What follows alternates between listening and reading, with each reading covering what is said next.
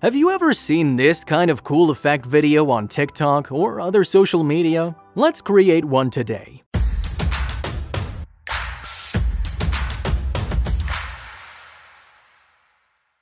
Today, we're going to recreate this cool effect, also known as the 2.5D parallax effect. Actually, it's very easy to achieve this effect in Filmora, and you can use this effect to spice up your video. First, we're going to import a picture with a clear subject in frame, and simply trim it into 2 seconds long.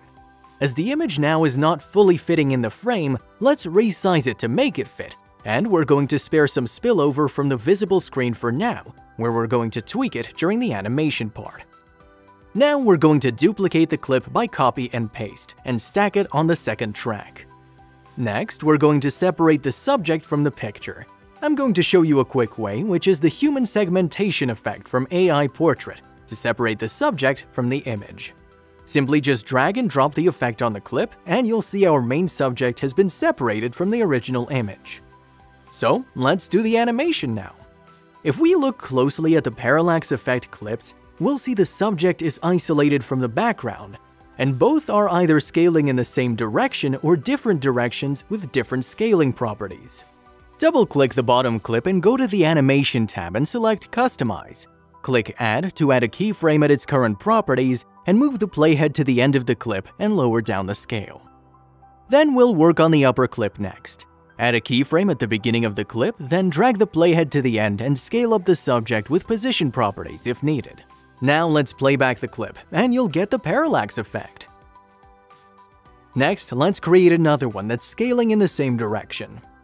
First, prepare two files, including one with a subject removed. Drag both of them on the timeline, the subject removed one at the first track and the original at the second. I'm going to make these tracks 2 seconds long too. As the image isn't fully fitting in the screen, I'm going to scale both of them up to fit the screen without spillover this time. Similarly, I'm going to drag and drop the human segmentation effect on the top layer to isolate the subject from the background. And now we can start animating both layers.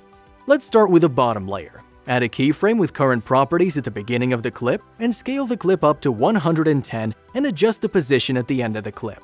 Do the same for the top layer, but the scale for the second keyframe set at 120. You can also play around with the position properties for the subject layer to achieve a cool parallax effect. Voila! It's simple and easy to create this parallax effect. Now, let's create one for your video project.